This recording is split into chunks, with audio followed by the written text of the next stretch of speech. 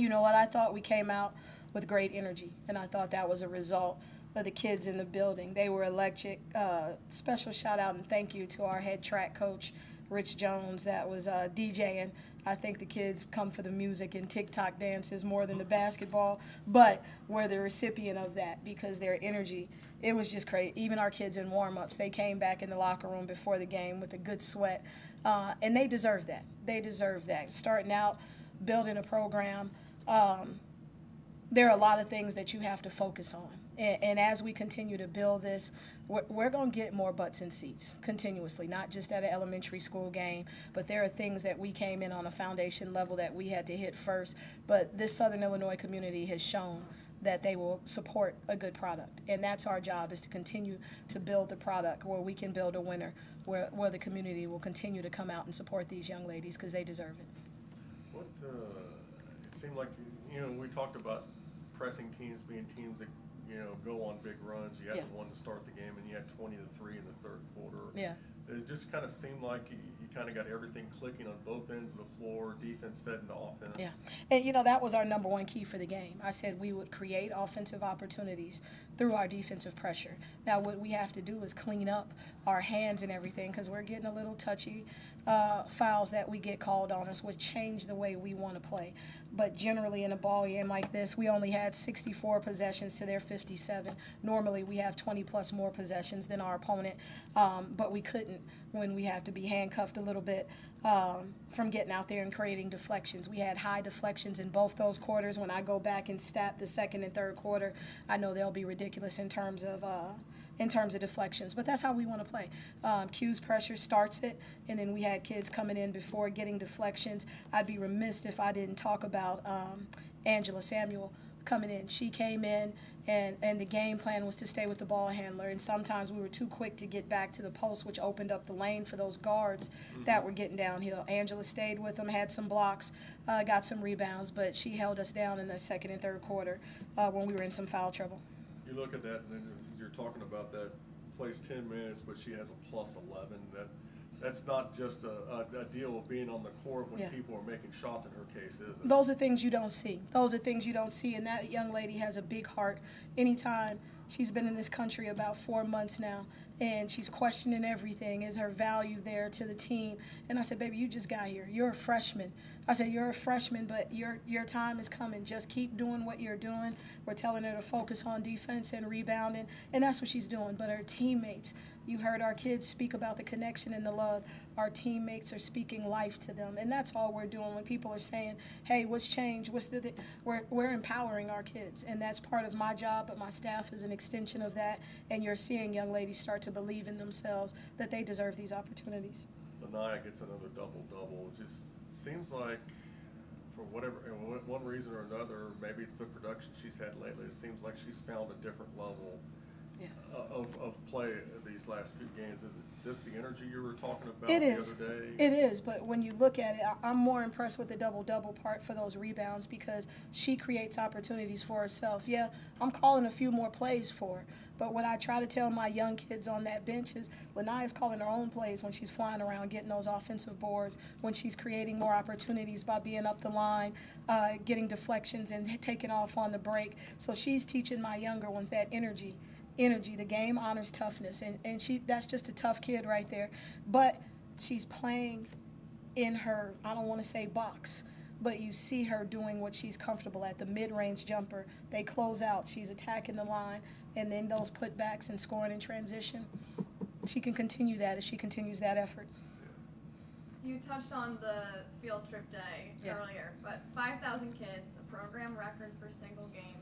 I want you to talk to me a little bit more about the Southern Illinois community support and just how fun Yeah. it was getting to play in front of those screaming kids. You know what? I had some changes on my staff, and Coach Webb is from uh, Marissa Webb is from Poplar Bluff.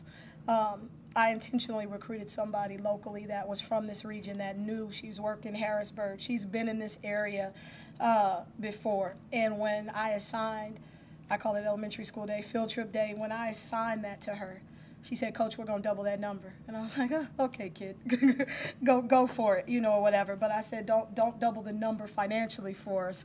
Figure out a way, you know, to get those kids here without us breaking the bank as well through sponsorships and everything like that. And I give her tremendous credit because she took the baby under her arm, worked with through our administration and Learfield to help do a tremendous job it's important because it doesn't end with just this game. We're getting into those schools. We're doing reading opportunities with those schools. We're doing PE, giving the teachers a break at PE, going to do things. I tell all those superintendents and all those teachers that were here, please utilize us because it's a huge responsibility of ours. And we want to be accountable. If we're going to wear Southern Illinois and Saluki across our chest, we want to be and make sure we're reciprocating the love. So it's just special seeing those kids here. I gave our kids a poem called Little Eyes Are Watching. And I told them that you got boys and girls that are growing up. They just watched our men last night. They're here watching us. Those little kids think you're rock stars. And they're watching everything you do, how you handle adversity through a referee's call, how you handle coaching. If I got to get on your case, are you high five and are you having fun? So you have a chance to inspire today and take that responsibility seriously. And I think our kids did. I love seeing them in the crowd after the games. How important was it that you guys got off to such a fast start in this game, and how did you know that momentum continue throughout the game? It was huge. It was huge because I told our kids I didn't like our energy our last two days of practice. We've got the new scoreboard and everything, which has displaced us, and we've been at Davies, the rec. We've been everywhere traveling uh, to practice uh, to get in. So this was our first night really back in Banterra the day before uh, with a practice. I knew we would be a little off, but I told our kids I want to run. I want to run and I want to push tempo. Y'all can't hear me that means you got to call the show, and you can do that through transition. So I thought it started with our defensive effort, getting them off balance, locking down 33. Um, and it, it was tremendous. I mean, we have to have starts like that because it just feeds our confidence, and we just keep playing through it. Karen, what was it like to play in front of 5,000 kids today?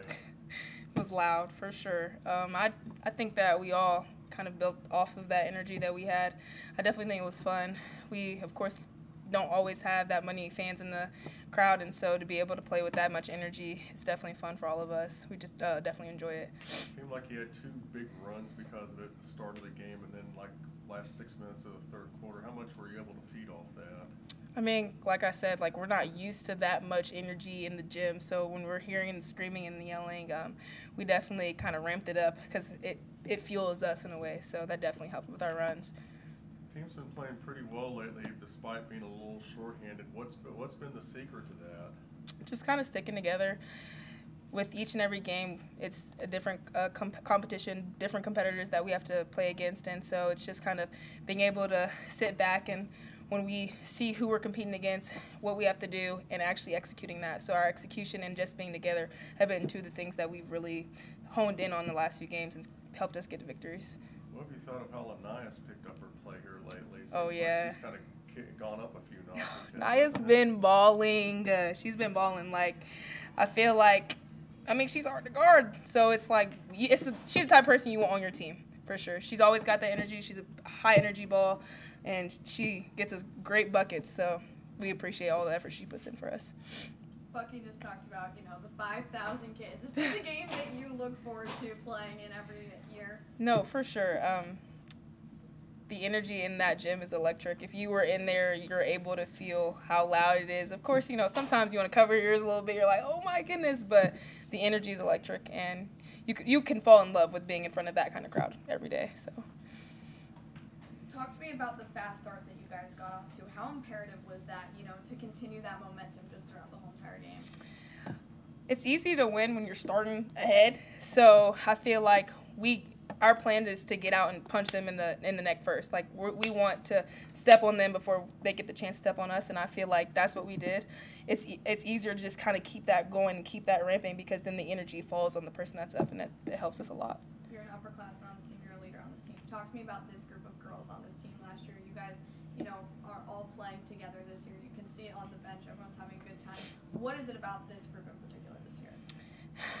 we have family everywhere. Uh, we write it on our walls, we write it on our on the backs and everything like that. And I feel like this year, this team has kind of made itself a family. Uh, we're more of a sisterhood. We're more looking out for each other. We want each other to win. We want everybody to win. We're like we're happy that Naya's going off one game, Sierra's going off the next. Um, just kind of that. We're making sure that we have each other's backs in the end of the day, and we're just being family at, uh, after it all. So. Laniah, what was it like to play in front of 5,000 uh, kids uh, that made, made this such a loud, fun environment today? Um, it felt good. Uh, it was very exciting, you know, because we're not that's not something we're used to. So it was just good to see a lot of people in the stands and coming down here to support us. So yeah, I was very excited. To piggyback off something Gabby just asked Tyranny, how important was that fast start the team got off to today? Can you repeat the question? To piggyback off something Gabby just asked Tyranny, how important was the fast start this team got off to today? When you were up 16 to 4 early in the game, how important was that? um, it was very important. Um, I don't know. Can we do next question? I don't know. Oh, or oh, go, I'll take it a step further then. They got within six in the third quarter, and I think it was like a 20 to 3 run. Uh, you know, what, what was the difference in that run? What did you guys do better in that, in that stretch that helped you blow the game open?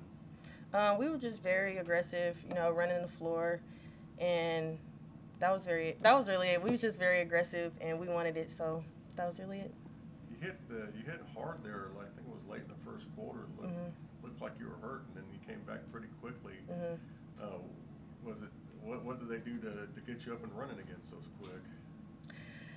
Um, really, it wasn't nothing that was done. It was just well, I stretched, of course, but really, what kept me playing and just pushing through it was my teammates. You know, I just felt like I had to be out there on the floor for them. You know, and that was really it.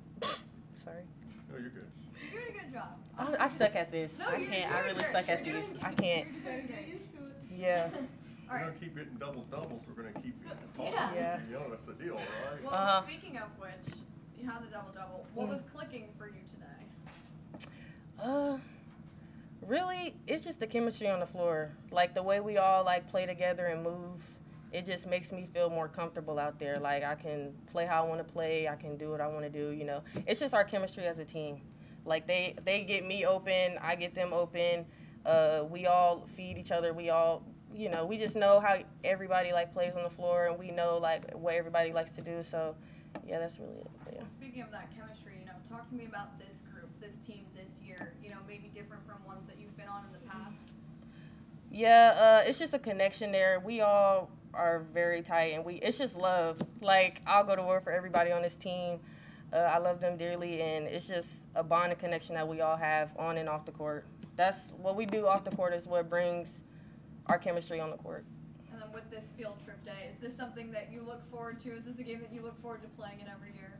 Yeah, it's very exciting, and I just like seeing a lot of people in the stands. That's it's just again something we're not used to, so it just feels good.